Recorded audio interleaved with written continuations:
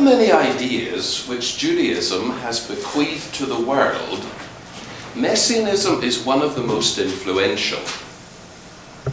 Judaism probably did not actually invent Messianism. Analogies to the idea have been found in other cultures, for example, in the classical Greek myth of the Golden Age, first adumbrated by Hesiod in his Works and Days.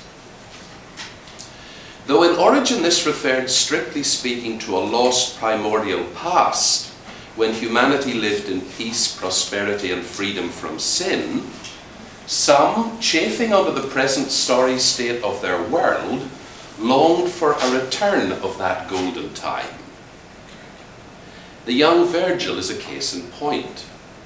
In his fourth eclogue, he sang of a newborn child who would bring back the age of gold. Christians trained in the classics could not resist seeing here a pagan prophecy of the birth of Christ, and so easily merged the restored golden age with the messianic age of their Bibles. But the dominant idea behind the classical myth was a deteriorationist view of history, the inexorable decline of the generations. In Virgil, the return is a poetical trope, neatly turned to flatter his patron, not an eschatological doctrine. And in any case, he got the idea, so he says, from the Sibylline oracles, specifically the Cumaean Sibyl. So some influence from Judaism cannot be entirely ruled out. Those of you who know anything about the obscure Sibylline oracles will know that there was a Jewish influence on these texts. So the possibility that Jews influenced Virgil is not entirely out of the question. There is good evidence, however, that some pagans in antiquity looked forward like some Jews, but independently of them, to a restoration in the future of the primitive state of perfection which they believe humanity once enjoyed. And so it would be rash and unwarranted to claim a Jewish monopoly of this idea. Indeed, the idea's ultimate origins may lie deep within the human psyche, in a fundamental human longing for security, plenty, and justice. The potential for Freudian analysis is obvious. Nevertheless, there can be little doubt that the idea as it entered the European imagination had its primary origin in Jewish messianism and through the political and cultural hegemony achieved by Europe through colonial expansion, it is in this form that it has become part and parcel of the discourse of humanity at large. Judaism, of course, did not achieve this vast influence on its own, but largely through two of its offspring. The first and foremost being Christianity, the archetypal messianic religion, and the second Islam, which, though not so fundamentally messianic, embraced elements of Christian and Jewish eschatology. I do not think it would be an exaggeration to say that we are dealing here with one of the seminal religio-political ideas of history, one which continues to have a profound resonance in our world today. The Messianic idea has been central to Jewish theology since late antiquity, and it is hard to conceive of any form of Judaism's manifestations today where it is not present in some shape or form. Reform Judaism in the 19th century certainly balked at traditional messianisms, nationalism and particularism, and sought to universalize it. But as I shall argue at length in the third lecture, reform still stayed within the parameters of the messianic idea, and was in fact, somewhat paradoxically, picking up on a strand of thought which commended itself to some of the great rabbis in the Tannaitic and early Amoraic periods. Maimonides also had difficulties with messianism, at least as traditionally conceived. He found its materiality and corporeality something of a strain. As a philosopher influenced by Greek thought, he found it hard to accept bodily resurrection, a common element of the end time scenario of Jewish messianism. how could it be seen as any kind of blessing or good that the soul, having shuffled off this mortal coil, should be shackled to it again in the Messianic age? Yet he had little option but to embrace the idea, because Mishnah Sanhedrin 10.1 had put belief in the resurrection of the dead on a power with believing that Torah is from heaven. Those who denied either doctrine forfeited their share in the world to come. Maimonides was obliged, therefore, to conform and to include the resurrection of the dead in a somewhat perfunctory fashion in his famous 13 principles of the Jewish faith, which were based on the Mishnah in Sanhedrin 10. Yet many suspect that he did so through gritted teeth. His own view of the end of history somewhat truncates the Messianic age. There is a resurrection, but the resurrected state seems short-lived and starkly unmiraculous.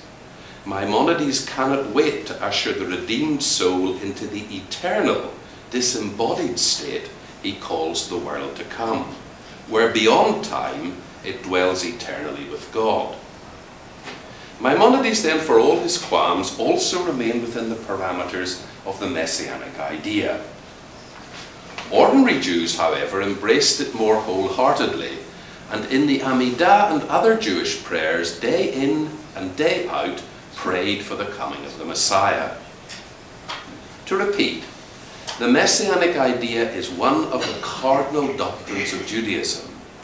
And I doubt, I speak here as a historian of Judaism, whether we could classify as truly Jewish any position that totally denies it.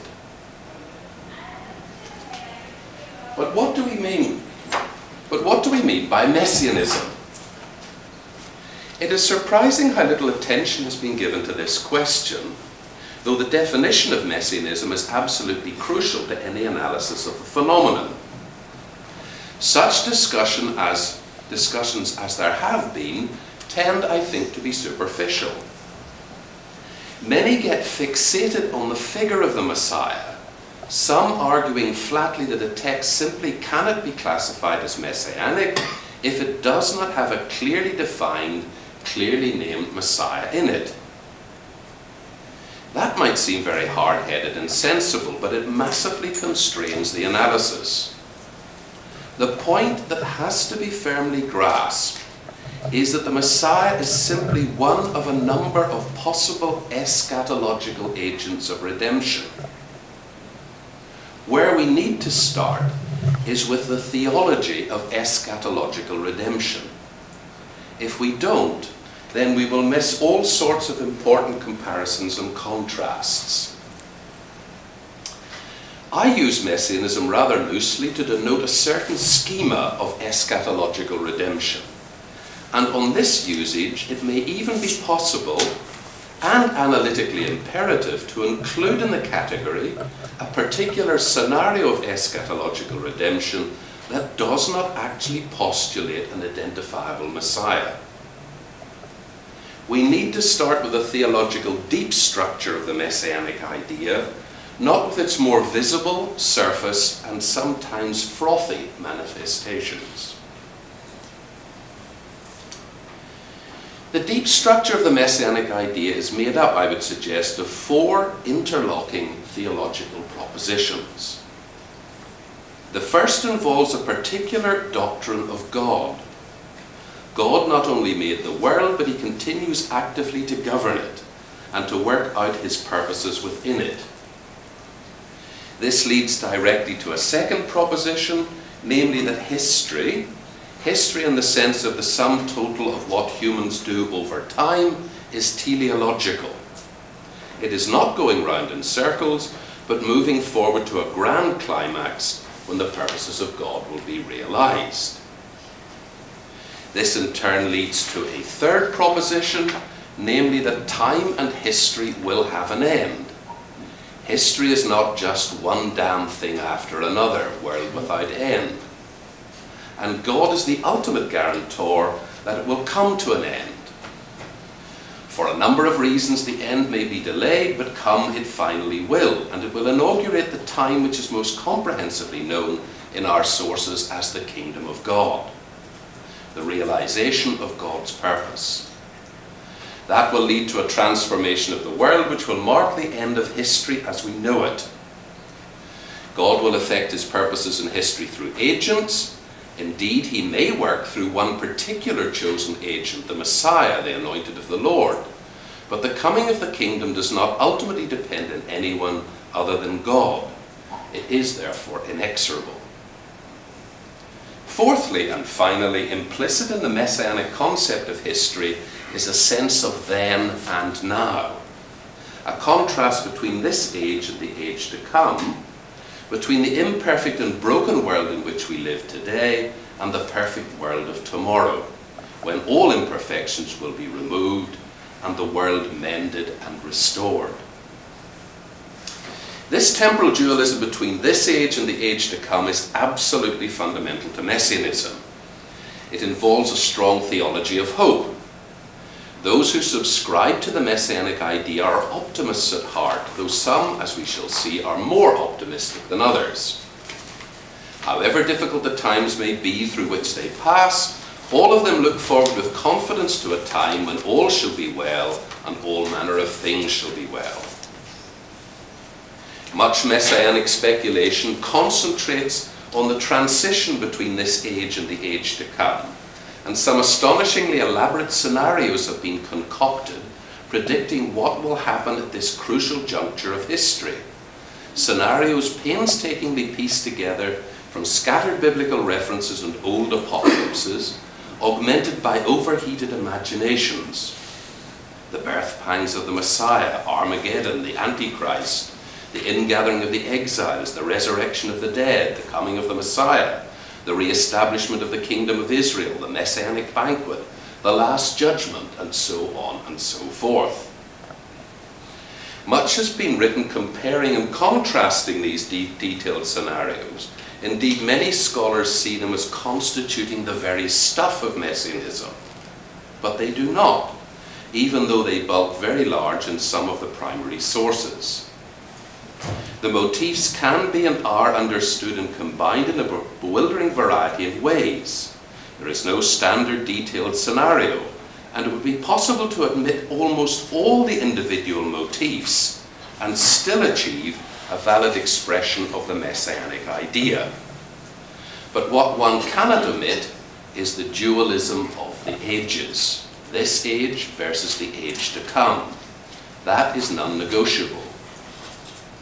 I would argue that any theological position which subscribes to these four propositions can be meaningfully labeled messianic. So that's my, mess, that's my deep structure, which I call the messianic idea. That's the deep structure of this uh, idea. Within the parameters of this abstract theological framework, a number of concrete forms of messianism can be generated. I will try to analyse some of these in detail in the subsequent lectures and in the final lecture offer a comprehensive classification which is meant to embrace all forms of messianism that have appeared within that framework. But it will, I think, be useful for orientation for me to broach here some of the possibilities. So this is a kind of just broaching a few possibilities to get our discussion going. Messianisms, can be classified according to the answer they give to the question of what is the locus or scene where they conceive the decisive redemptive action as taking place. Two main loci can be distinguished history and the spiritual realm. Where history is the scene, the coming of the kingdom is envisaged as an event or series of events that take place on the plane of history. This view is exemplified by those types of messianism which see the outcome of the messianic process as being a political entity, the reconstituted state of Israel, living in peace, prosperity and security, and ruled over by a king who may be super wise and super good, but who, know, who remains no more than a man among men. But it can equally be found in those forms of messianism which see the transformation of humanity as a whole, and not just the people of Israel, and the emergence worldwide of a just and God-fearing society as the goal of history. The latter view is more common in Christian messianism, which has classically neutralized Jewish nationalism, but it is not unknown, as we shall see, within Judaism as well, for example, in Reform Judaism, a point to which I shall return in the final lecture. The differences between these views are by no means negligible, and they have considerable practical consequences. I have no wish to play this down, but my basic point here is that for all their disagreements, both positions, both the Universalist and the Nationalist, posit history and society as the locus of redemption. It is a process that primarily affects humankind. Historical messianisms can then be either nationalist or universalist, but they divide among other lines as well. They can divide according to what they hold up as the model of the redeemed human condition. Basically, three models are invoked. The Paradise model, the Davidic Kingdom model, and the Utopian model. The Paradise model envisages humanity returning to the state it enjoyed in the Garden of Eden before our first parents were banished for disobedience and condemned to wander the earth, wresting a livelihood from the ground by the sweat of their brow and bearing children in pain. The Endzeit matches the Urzeit. This model is favoured by the Universalists. Second, the Davidic kingdom model holds up the rule of David as a period of perfection in Israel's history and looks for the restoration of the conditions that prevailed then. The Davidic kingdom is to be sure romanticized and idealized, its faults, which scripture takes no trouble to conceal, forgotten.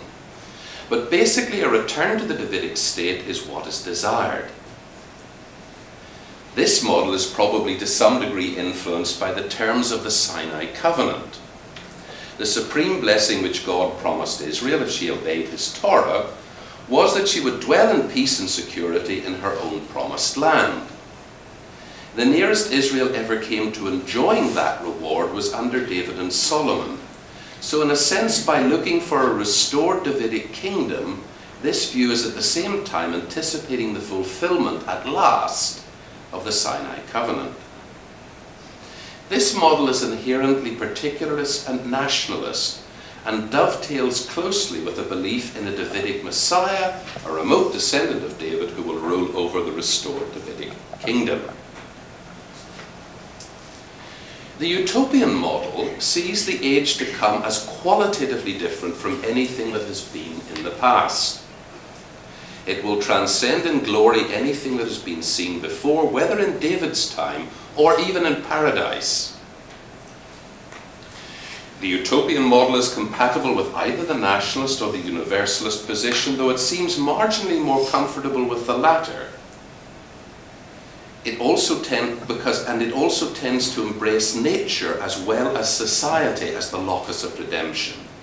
Since it is often only through the transformation of nature that the utopian model can find an adequate way of expressing itself. The fertility of the land for example will be miraculous. Crops will grow so speedily and abundantly that the reaper will follow in the footsteps of the, sow the sower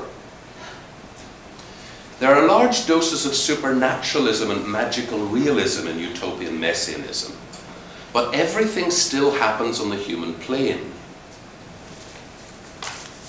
Of these three models, the first two are backward-looking and nostalgic. They see the future as a return to an idealized past. The third is forward-looking, radical and progressive. It holds that the final state will transcend anything that the world has known before. True perfection has never been achieved. It will only come to pass in the future. The utopian model is comparable with either nationalist or universalist messianisms, though where the transformation of nature is involved, it would seem to be more consonant with universalism, since it is implausible, though not inconceivable, that transformed nature would be confined only to the Holy Land. Though we haven't the time to pursue it here, we should note in passing that profoundly different religious psychologies are involved in these three models. Looking back and looking forward are psychologically very, very um, different um, standpoints. So, historical messianisms um, can be divided into universalist or uh, particular stroke nationalist. But they can also divide as to whether or not they hold the kingdom will come gradually or suddenly. The distinction here is very clearly articulated in Christian messianism. So let me begin my analysis here and then move on to Judaism, where the same distinction is also found, though seldom they are adequately recognized and articulated by modern scholarship. In Christianity, this involves the well-known distinction between premillennialism and postmillennialism. I would get into really good detail here. You're going to learn a lot if you don't know this already. The decisive question is this. Does the coming of the Messiah, that is in Christianity the second coming of Christ, happen before or after the inauguration of the final historical state, conceived of as a millennial reign of Christ and the saints? The implications of the answer one gives to this question are surprisingly profound. In premillennialism, the second coming of Christ inaugurates the millennium. It is a dramatic, catastrophic intervention into history by the agent who will bring the kingdom. A rupture is posited between the end of this age and the beginning of the age to come. The end of this age will be a period of disaster and persecution of the saints, often known in Christian eschatology from the book of Revelation as the Great Tribulation. Because the agent of redemption is overwhelmingly Christ, other human, human agency is sidelined. There is little the saints can do to assist the coming kingdom of, of the kingdom. Their role is to keep themselves unspotted from the world to withdraw from a society and a world order that is under the wrath of God. Though Christian premillennialism has found for itself in recent times an aggressive political voice and an active political role in the states, it is traditionally apolitical, and the logic of its position seems rather to demand this. In postmillennialism, by way of contrast, the kingdom comes gradually like the dawning of the day. And Christ returns as the seal and culmination of a process that has already effectively been achieved. There is no catastrophic intervention in history, no great tribulation. Postmillennialism conceives of messianic agency in a very different way from premillennialism.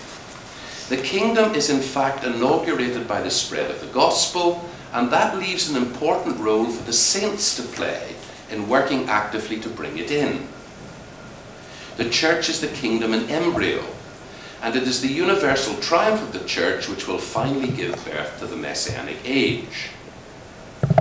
Postmillennialism is intrinsically activist, and by interpreting the gospel in a broad and generous way, liberal Christian postmillennialists have often found themselves at the vanguard of movements for social justice. Christian socialism owes much, to Christian postmillennialism.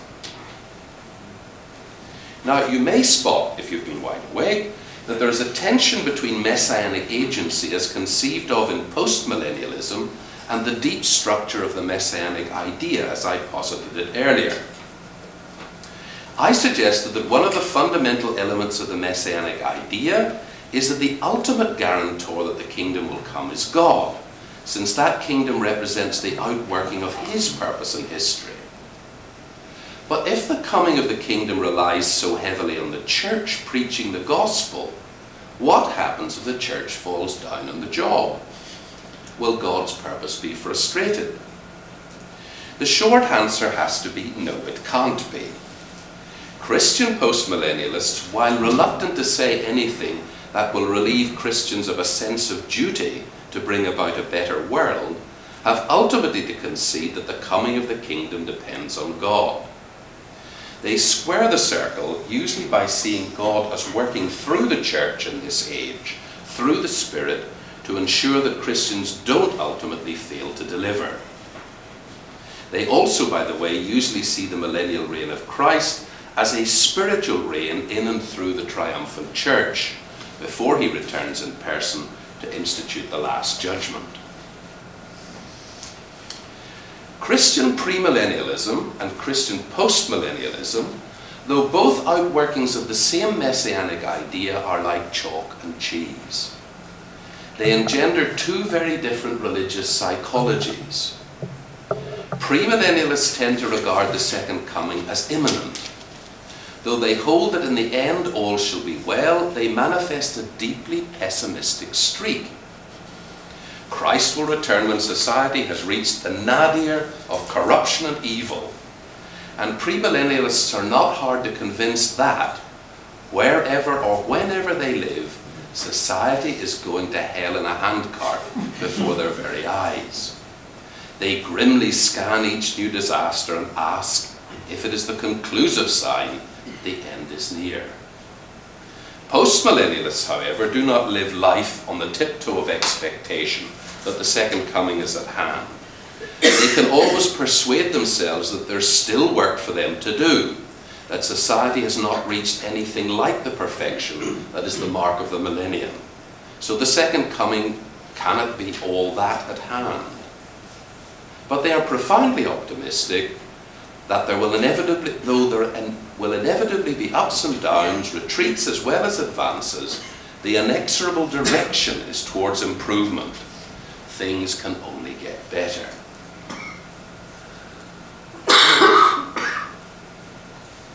I have spent some time expounding Christian pre and post millennialism because though these two positions represent two major variations of the messianic idea, they are not well understood within the scholarly literature. Still less understood is the fact that their basic structures are replicated within Jewish messianism.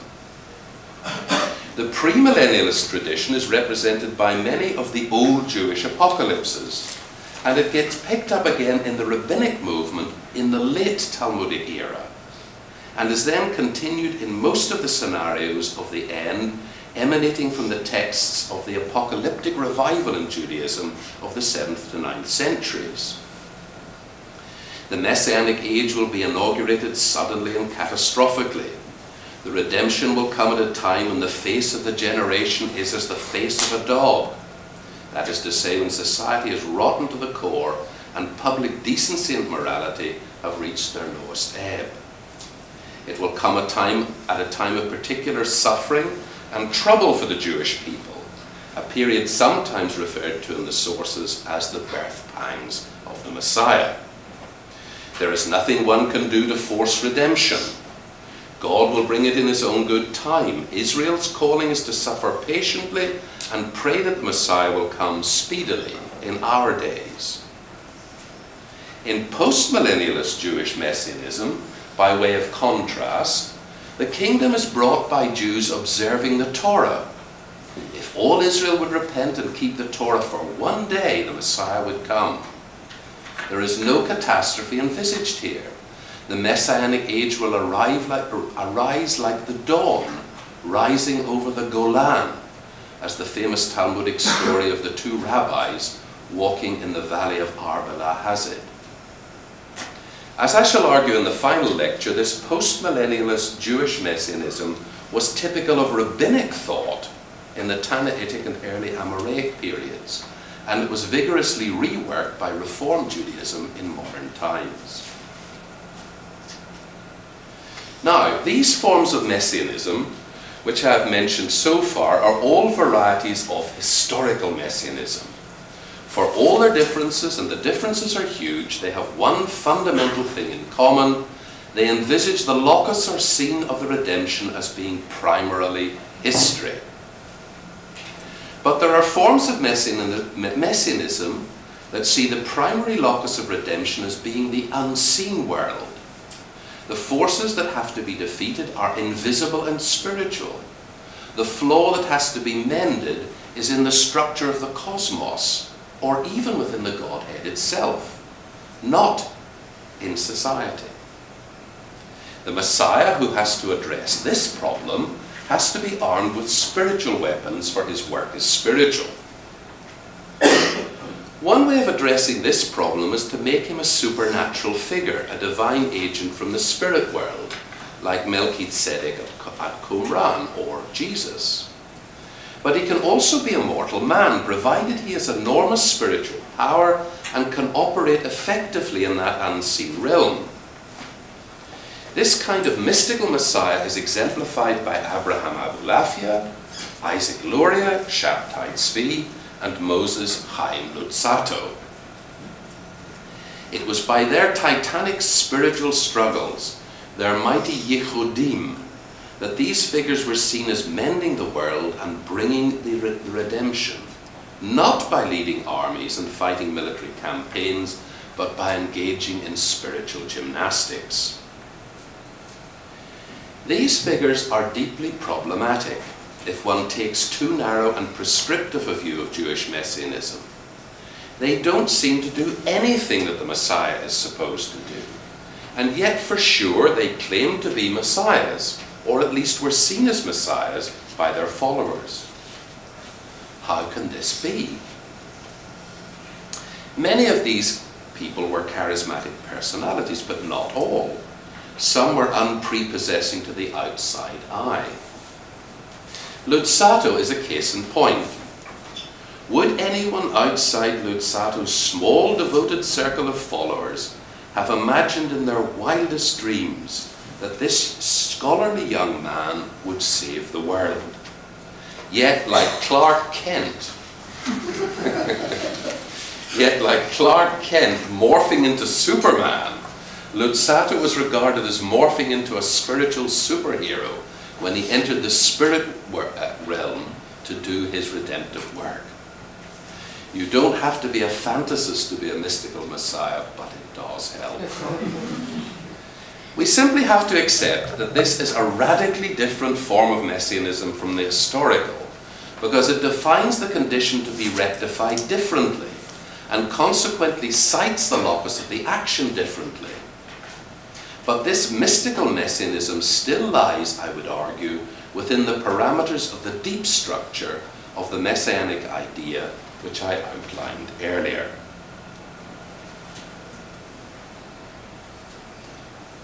Now, all this at the moment is very abstract. I hope by the end of the lectures to have put some firm flesh on these bare bones. But it's important at this stage of the argument to grasp what I am trying to do. I am trying to create a taxonomy of messianism. That taxonomy covers effectively all those forms of messianism that have emerged within the parameters of the deep structure of the messianic idea which I outlined earlier. The taxonomy, though inferred from existing sources and movements, is essentially ideal typical. That is to say, actual messianisms which have emerged do not always fit exactly into my ideal types. They are not always pure types. Different, sometimes contradictory elements can be combined in dizzying and bewildering ways. For example, the eschatological redemption in the Dead Sea Scrolls seems to take place simultaneously in the historical and the spiritual realms in a complex process of three-dimensional chess. Nevertheless, I will hope to convince you by the end that my ideal typical instrument is an effective analytical tool that helps us find our way through the chaos of the actual messianic traditions. My approach, as you will have noticed, is massively synchronic, and that will doubtless be seen as a weakness. My evidential base derives indiscriminately from texts and movements stretching from late biblical times to the present day. How can I justify such a breathtaking synthesis? I can only justify it theoretically if I see these traditions as the outworkings over time of the potential residing in the deep structure of the messianic idea. And that assumption only makes sense in turn if I see Judaism as forming a coherent theological system, created and developed by an evolving religious community, which in broad fidelity to its religious heritage has adapted certain core beliefs to its changing historical circumstances. I do hold this view of Judaism, as those of you who sat through my Introduction to Judaism course will know, and I see some in the audience today. The essentialism involved in this approach I know is deeply unfashionable. It would take us too far afield to discuss the issues here. Suffice to say that I'm well aware of the problems and believe I have reasonable answers to them. My approach is synchronic, but I would not deny the importance of the diachronic perspective. I think of myself as fundamentally an historian, and history will feature in a subsidiary way in my analysis. To orient you, orientate you and set my synchronic analysis in a wider context, let me remind you very briefly here of the main phases in the history of Jewish Messianism and the literature and movements on which my observations are based. So hold on tight, we're going to go through 2,000 years of history here very quickly. In considering the vexed question of the origins of Jewish Messianism, we need to keep in mind the deep structure of the Messianic idea, which I outlined earlier. Elements of this can be found scattered throughout the Hebrew Bible. The belief that God is the moral governor of the world and the Lord of history is widespread in Tanakh. The concept of a Messiah who will come in the future and put all things right is found in both pre and post exilic traditions and seems to be the outworking of prophetic promises to the house of David and ideals of kingship most clearly articulated in the royal Psalms. There are numerous passages dating from the exilic and post-exilic periods which talk in more general terms of the future restoration both of the people of Israel and more generally of the world. We should also not forget the concept of the day of the Lord, which is clearly some sort of dramatic intervention of God in history in judgment. All these traditions were later gathered into scenarios of the end, but although they are highly suggestive on their own, none of them individually is for certain a full expression of the messianic idea on my definition of the term. And we must avoid reading too much into them individually or prematurely harmonizing them into a coherent theology. The messianic idea in its fullness only seems to emerge in the late Second Temple period. The book of Daniel marks a decisive moment in its recorded history and why it does so is that Daniel fits the future redemption clearly into a comprehensive historical schema which makes it, the future redemption, the end of history. Note, for example, the vision of the great statue in Daniel 2.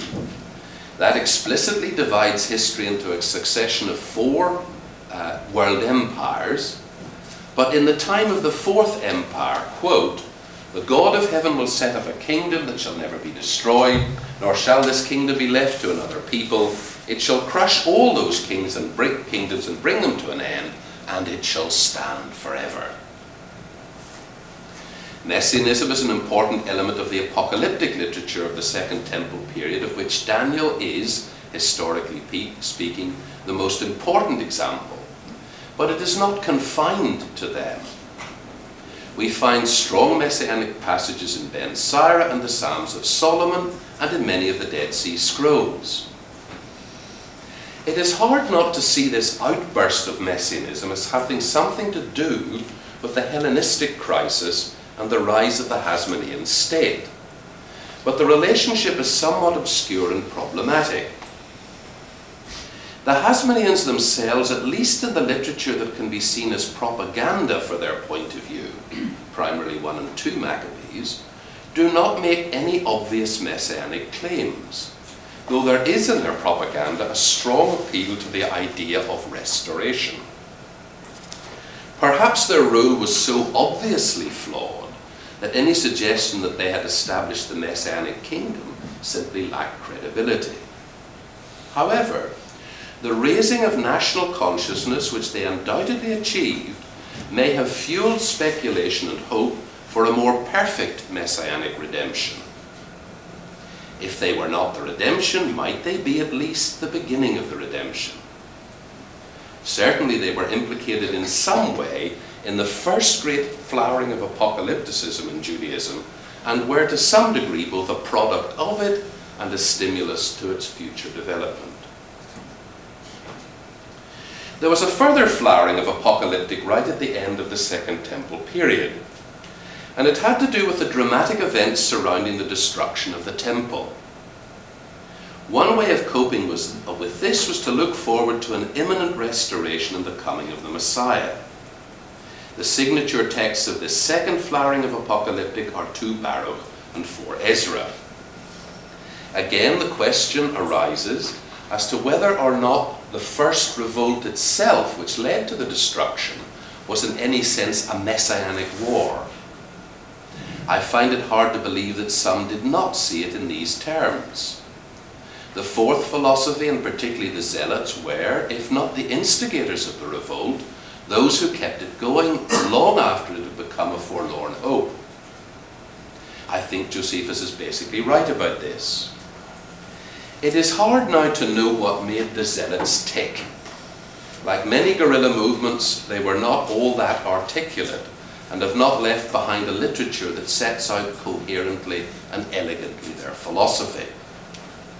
They were following clearly in the footsteps of the Maccabees in taking up arms, arms to create an independent Jewish state. But it is not clear whether this was linked in their minds to messianic ideals. I think it might well have been. Certainly if J.T. Milik is right that the Qumran Covenanters at the very end of the Second Temple period moved politically in the direction of the Zealots, then the Dead Sea War cycle may well open a window into Zealot ideology. If it does, then that ideology was strongly messianic. What the Zealots may represent is a nationalism married to a messianic ideology with a strong activist ethos, prepared to use violence to bring the kingdom. A form of messianism which Judaism was later to reject, but which was revived in our own times by political Zionism. I will return to this point later. Certainly messianism linked to armed rebellion was a feature of the second revolt against Rome in 132 to 135 and here we have unquestionably a warrior messiah, Shimon Bar Kokhba, who was known to his followers by the messianic title Bar Kokhba. But we should not forget that the most important Jewish messianic movement of the Second Temple period in world historical terms, the followers of Yeshua ben Yosef, emphatically rejected violence and even direct political action. My kingdom, he reportedly said, is not of this world. If my kingdom were of this world, then would my servants fight. And yet, the Christian spiritualized form of messianism can equally be counted as an expression of the messianic idea. The rabbinic movement, which came to dominate the Jewish communities of Palestine in the post-70 period, learned a bitter lesson from the two disastrous wars against Rome, and did all it could to dampen messianic activism. It did not, as I will argue later, abandon messianism as some suppose.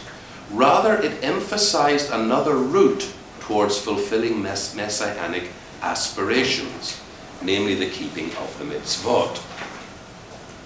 It has often been noted that in the earliest strata of rabbinic literature, the Mishnah, the Tosefta, the early Amoraic materials in the Talmud, and the earliest levels of the Midrashim, there is very little reference to the vivid end-time scenarios of the old apocalyptic literature. The older traditions were preserved in the rabbinic milieu, in important synagogue prayers such as the Amidah, and in traditions around the 9th of Av, Pesach, and Hanukkah. But it cannot be stressed enough that these are fundamentally not rabbinic traditions, but popular beliefs and customs which the rabbis knew and on which they tried to put their stamp. Towards the end of the Amoraic period, however, these traditions reappear with even great, ever greater frequency in rabbinic literature and are beginning to be taken seriously and quoted. The reasons for this need not detain us here, but probably it has something to do with the political triumph of Christianity under Constantine, what one rabbinic text described as the kingdom going over to heresy, do we note, and the eventual persecution which this brought down on the heads of the Jewish communities of the Middle East. This produced in the end an apocalyptic revival in Judaism which was given enormous fillip by the sudden rise of Islam and its swift and dramatic conquest of the Middle East. The apocalyptic revival seems to have begun a little before the rise of Islam. The opening salvo, as far as our record now goes, is fired by Sefer Eliyahu, which was probably composed in the 6th century CE. But many of the late Hebrew apocalypses date to the early Islamic period. The arrival of Islam sparked apocalyptic and messianic speculation, not only in Judaism, but in Islam and Zoroastrianism, and finally, uh, sorry, in Judaism and uh, Zoroastrian, and finally within Islam itself. The apocalypse, this apocalyptic movement was as vibrant and creative as that which occurred in Judaism in late Second Temple times, and its impact was no less important. It undoubtedly sealed the revitalization of the messianic idea in mainstream Judaism. But the apocalyptic fervour died down, as apocalyptic fervour often does when nothing much seems to happen. And although the Hebrew apocalypses unlike Second Temple period apocalyptic, continued to be transmitted and read in mainstream Judaism, the development of the messianic idea moved in other directions. One of these was to be found in the philosophic tradition. Messianism by the early Middle Ages has unquestionably become a cardinal doctrine of Judaism and so couldn't be ignored. It was given extensive treatment by philosophers such as Saadia and even Maimonides. What the philosophers tended to stress was messianism as a political process leading to a state which would live up to the philosophic ideals of kingship, but which would simply act as a vestibule for the world to come, the final disembodied state of bliss that the righteous would enjoy. The mystical tradition, as opposed to the philosophic, took the messianic idea in a more spiritual direction by treating messianism as essentially a cosmic process. The concrete messianic language of the Tanakh, like the rest of its Aggadot, concealed deeper mysteries and was symbolic of events that would take place primarily in the unseen spiritual realm. The Spanish Kabbalah was particularly energetic in this development and above all its masterpiece, the Zohar. Kabbalistic messianic speculation was intensified by the expulsion from Spain in 1492. It would be hard to overestimate the importance of this event. Between the fall of the temple and the Shoah, no catastrophe that befell the Jewish people can have had greater impact on the Jewish imagination and on Jewish thought than the expulsion from Spain. It is one of the turning points of Jewish history. It not only disrupted and brought to an end one of the most flourishing Jewish communities in history, but it created a theological crisis in Judaism. A crisis addressed powerfully in mystical terms by a group of Sephardi exiles who gathered in the little Galilean town of Safed in the 16th century, the most important of whom was, of course, Isaac Luria, the Ari. Lurianism was deeply messianic in its theology, but the theology was fundamentally mystical and spiritual. Lurianic ideas spread, and it was to some extent on the platform of Lurianism that the next great eruption of messianism in Judaism occurred, the Sabbatian movement of the mid 17th century. Shabtai Tzvi engendered one of the most important messianic movements in the history of Judaism, the impact of which spread far beyond the Levant, where he himself operated, to the Jewish communities of northern and western Europe. In the heady decades of the 1660s and 70s, it engulfed the whole Jewish world. Shabtai is a deeply paradoxical figure who did paradoxical things, and he has gone down in Jewish history as the ultimate failed Messiah. Some of those who believed in him undoubtedly expected him ultimately to fulfill the role of a political Messiah. That was the role they expected a Messiah to perform. But his immediate circle and he himself saw his primary task as lying in the spiritual realm, in keeping with the mystical theology which underpinned his mission. Long after his conversion to Islam, and even after his death, the ghost of Shabtai haunted Judaism. Sabbateanism continued a shadowy underground existence in the 18th century, not only in such extreme and marginal movements as Frankism and Hasidism, but in the heart of the rabbinic establishment, in much more in such respectable figures as Jonathan Eybeschutz and Moses Chaim Luzzatto. Hasidism, though it began as a marginal movement in the 18th century and was bitterly resisted by the rabbinic establishment, by the early 19th century had reached an uneasy but very real accommodation with rabbinism. In the 20th century, this symbiosis continued, and after World War II, the influence of Hasidism on the Jewish community at large grew rapidly, particularly through the activities of Chabad. And it was in Chabad that the messianic idea which had been running through Hasidism, largely in subterranean channels, blasted to the surface in the 1990s in the figure of the Lubavitcher Rebbe, the late Menachem Mendel Schneerson, the most impressive Jewish Messiah since Shabtai Tzvi. The Rebbe is the latest manifestation of mystical messianism which dominated Judaism since 1492. But in the 19th century, other historical forces were pull pulling the development of Jewish messianism in a different direction. One that was to take it emphatically towards a re-engagement with indeed re-entry into history. Those forces had all to do with the encounter of European Jewry and modernity. But that encounter resulted in two contradictory manifestations of historical messianism. The first was, as I've mentioned several times, a Jewish universalism, exemplified classically in 19th century reform.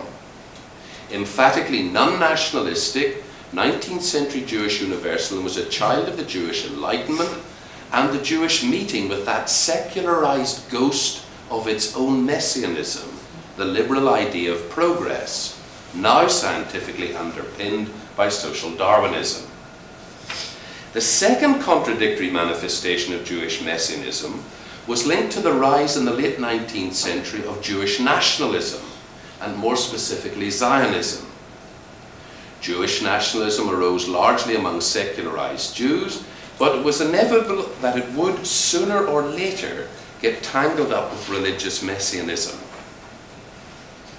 It was too much to expect that the two could be kept apart. Some Jewish traditionalists have, of course, seen Zionism as the negation of messianism because it forces the redemption. I hope to discuss this a little more in a little more detail in my second lecture, and I discussed it at length last night at the community lecture, which some of you I know heard. Suffice to say here that I can see nothing in principle in Zionism that negates the messianic idea. And taking the long historical view, it is possible to see Zionism as reverting to the very old messianism of those Jews who in the distant past, before the rabbis embargoed military solutions, took up arms to create a Jewish state. Over both these developments in modern times inevitably hangs the dark cloud of the Shoah, calling into question the liberal idea of progress in terms which some sought, uh, the liberal idea, in terms of which some sought to define the messianic kingdom as the inevitable goal of social evolution, and adding urgency to those who sought practical political solutions and a national homeland for the devastated Jewish people.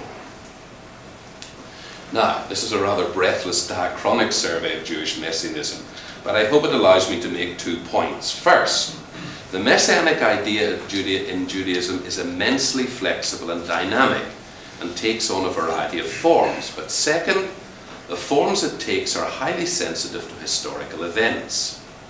Its relationship to history is complex and not easily read, but the relationship is unquestionably there. The old apocalyptists recognized this in their own way by reading the progress of the messianic redemption in the signs of the times. I'm nearly finished. Much has been written about messianism, and there's surely an element of chutzpah in supposing that, that this late in the day I have anything new to contribute. That will be for you to decide. But I feel I must trespass on your patience long enough to say something about one earlier scholar whom I regard as my dialogue partner in the present enterprise. I refer to the great Gershom Scholem. Scholem's famous and justly influential essay on the messianic idea in Judaism, first appeared in English in 1971, is in my view the most important single study of Jewish messianism in recent times.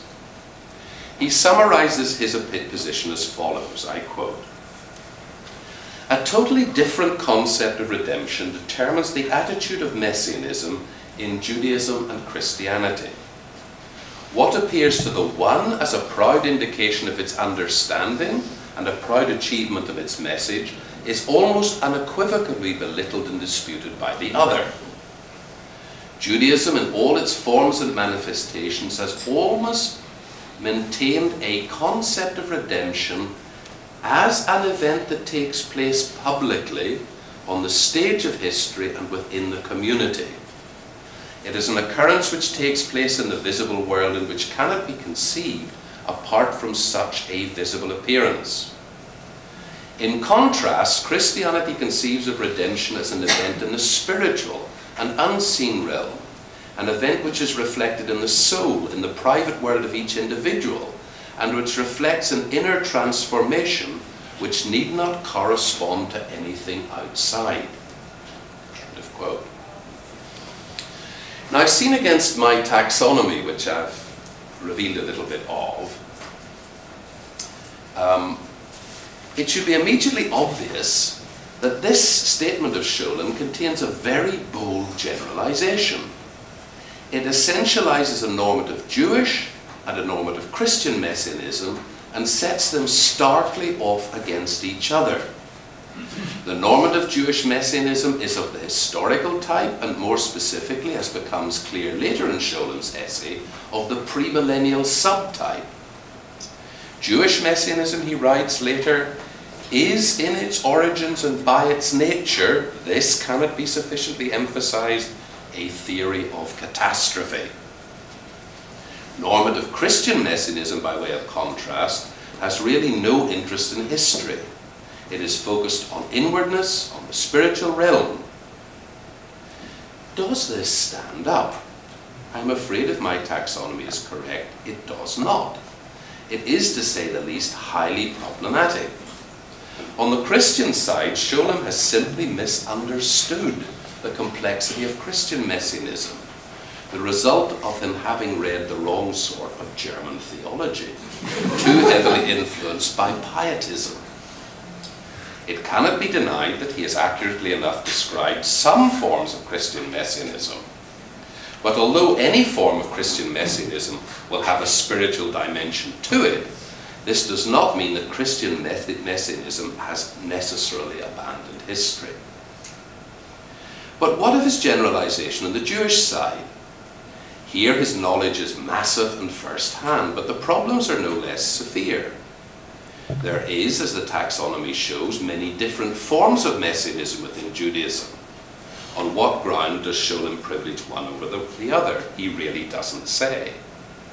Isn't post-millennial Jewish messianism, which is not in any way, shape, or form a theory of catastrophe, every bit as much Jewish as premillennial Jewish messianism. It is certainly advocated, as we shall see, by impeccable Jewish authorities. Scholem, of course, knows the varieties of Jewish messianism well and mentions them in the body of his essay, but rather implies that their later developments are somehow deviations from the norm under dubious external influences. Why should Scholem have been so keen to advocate this position in the way that he did? The answer becomes clear at the very end of his essay.